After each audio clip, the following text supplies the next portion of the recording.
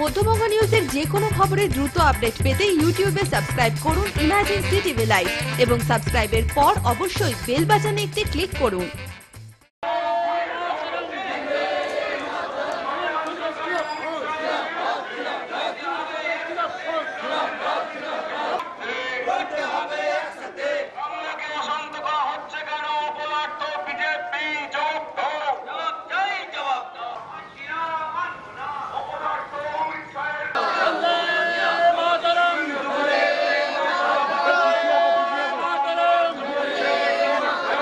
আজকে আমাদের যে রাজ্য কর্মসূচি আছে, যেখানে কিছুদিন আগে আমরা যে কর্মসূচি পালন করেছিলাম, আসামে যেভাবে চল্লিশ লক্ষ বাঙালিকে যে উনিশশো পঁচানব্বই সালের নাগরিকপঞ্জি যে অ্যাক্ট আছে, সেই অ্যাক্টকে সম্পূর্ণভাবে বিশ্লেষণ না করে, ভুল বুঝিয়ে মানুষকে যেভাবে অত্যাচার করছে, তার প্রতিবাদে আমাদের নেত্রী মমতা বন্দ্যোপাধ্যায় ওখানে যে আন্দোলন ডাক দিয়েছিলেন এবং আমাদের বিভিন্ন জেলার যারা রাজ্যের মন্ত্রীরা যারা ছিলেন এবং এমএলএরা ছিলেন তাদেরকে ওখানে প্রবর্তিত আক্রমণ করা হয়েছিল। তার প্রতিবাদে রাস্তায় নেমেছিলাম।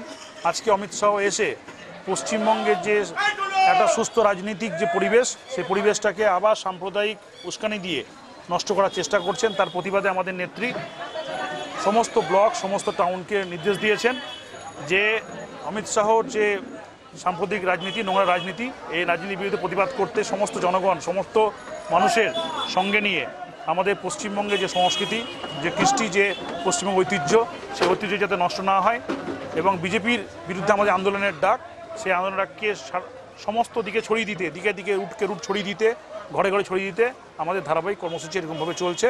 তার ফলস্বরূপ হিসেবে আজকে টাউন তৃণমূল কংগ্রেস এখানে র্যালি করছে। যদি মধ্যবঙ্গ নিউজের এই খবরটি ভালো লেগে থাকে, তাহলে অবশ্যই একটি লাইক দেবেন এবং ইউটিউবে ইমার্জেন্সি টিভি চ্যানেলটি সাবস্ক্রাইব করবেন। আর যে কোনো খবরের দ্রুত আপডেট পেতে সাবস্ক্রাইব করার পর বেল বাটনে একটি ক্লিক দেবেন।